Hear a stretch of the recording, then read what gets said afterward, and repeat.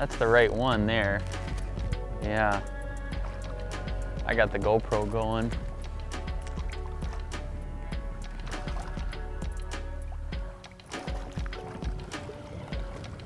There we go. That one smoked it. Drop a waypoint on that. Not a bad one.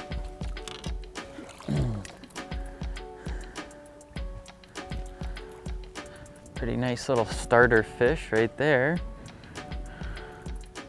So over the past couple years, a couple of us at Wired2Fish, more particularly uh, Keys and myself, have been messing around with catching crappies on hard baits. One of the things about it, it's just enjoyable to do. One, you don't have live bait.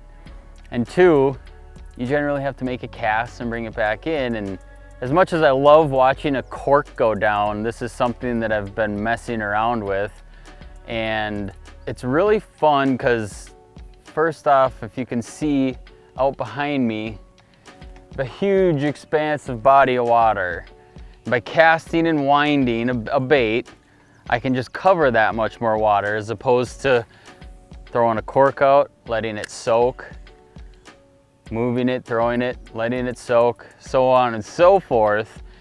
This is so much more engaging for me because I can just cover a ton of water. Crappies, if they pull up into shallower reeds, the nice thing about this thing is that I can throw it in and unlike a jerk bait, to engage it and to get it to go down, you have to start retrieving the bait to get it to drive down into the water.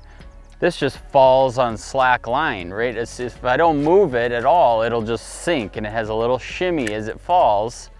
It's a uh, Shinobi shad and it's come to be one of my favorites just for covering a ton of water. And then earlier today, I got up into some bulrushes and there was a few crappies skirting around in there and I could just, I could see them and just make a direct drop right, uh, right behind the fish and just slowly work it past the fish and drop the bait vertically right in their face, engage it, drop it, engage it, drop it. Then you can just mess with them until they bite it. So as you can see, the size of it is, I mean, it's not a giant bait. And you've seen normal size spy baits before, they're about twice that long.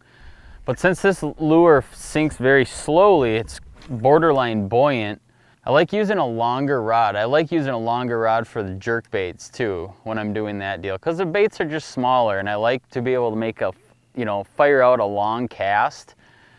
And that longer rod, this is like a seven and a half foot rod, medium light. I have it paired with braid and I always run a fairly loose drag. That I mean, I'm not pulling much on that. Fishing crappies, you know, they're notorious for that light skinned mouth. So when I do get a bite, I basically just reel and it doesn't take much to get that drag to go. But I can feel a real subtle bite with the braid.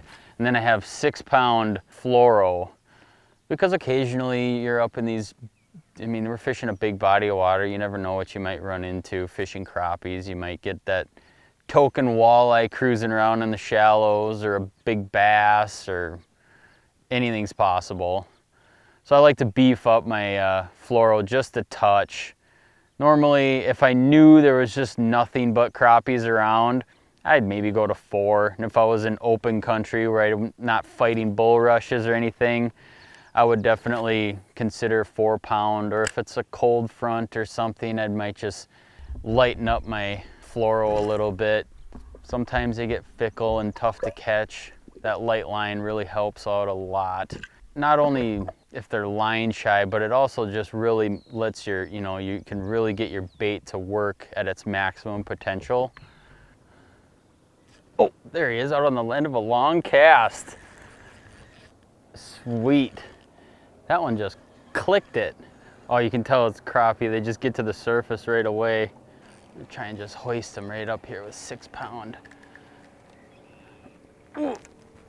Oh, sweet. Look at that guy. Just out covering a ton of water out on this big flat, catching a few nice crappies. This one might have to go in the pan for later tonight.